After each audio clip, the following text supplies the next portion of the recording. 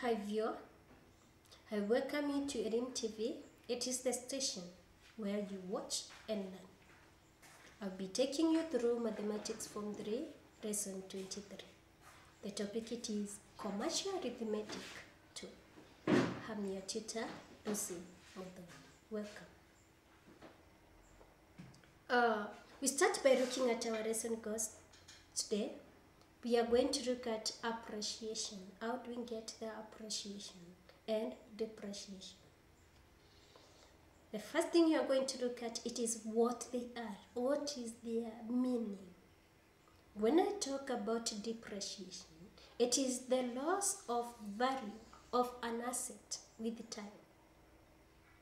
For example, if at all you buy a car today, it depreciates its value. It keep on depreciating its value.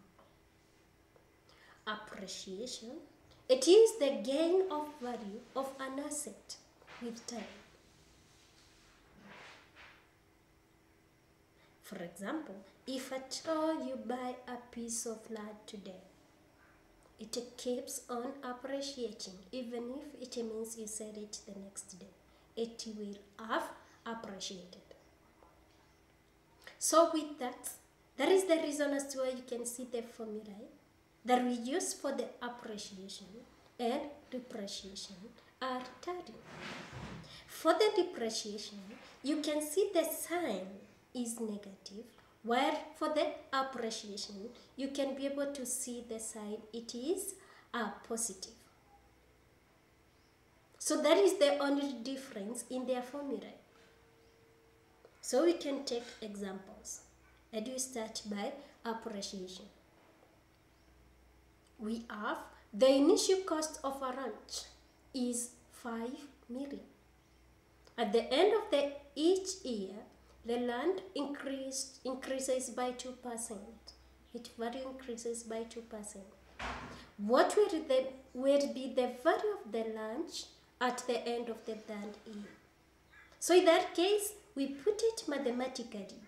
Uh, we have the principal, it is 5 million. Then we have the rate, it is 2%. Then we have the n, which is the time, it's supposed to be 3. So in that case, after replacing them in the formula, you are going to get amount is equals to 5 million. You open the bracket, 1 plus 2 divided by 100, raised to power 3. So in that case, after calculating, you are going to get the amount goes to the 5 million 306,014. So that is the way we get the appreciated, appre uh, the value after it has appreciated. Get the example two. The cost of an article is 12, 1,200. Find the rate of the inflation of the cost of the article after 5 years is 1932. So in this case, we have the amount, we have the time, that is the n. We also have the principal. What we lack here, it is the rate. That is the reason as to why you can see in our formula, after replacing, we don't have the r. And that is what we are expecting to calculate. So the first thing it is uh, solving that and after that we get 1.10 is equals to 1 plus r divided by 100. So in that case you get is supposed to be 0 0.10 is equals to the rate divided by 100. After multiplying by 100 you are going to get rate is equals to 10%. So that is how we get appreciation. The rates when we have appreciation. Let us take the next example. Still on the side of appreciation. The Jones family purchased a house five years ago at 245,000 US dollar. The house is now worth that 328,000. Assuming a steady annual percentage growth rate, what was the approximate, approximate yearly appreciation rate. So we still use the formula. So we have it there. 3,200 328,000 is equals to the 245,000 which is the principal. Then we open the bracket 1 plus r raised to power 5.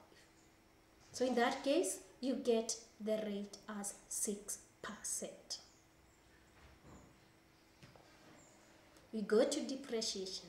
Before we go to depreciation, there is also another example here. At the end of the year 2000, the population of a center was 30,000. What was the population of this center at the beginning of 1997 if the growth rate was 3%? So we just replace them.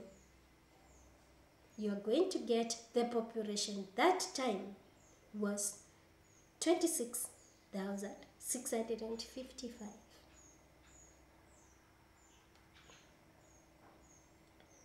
we go to depreciation.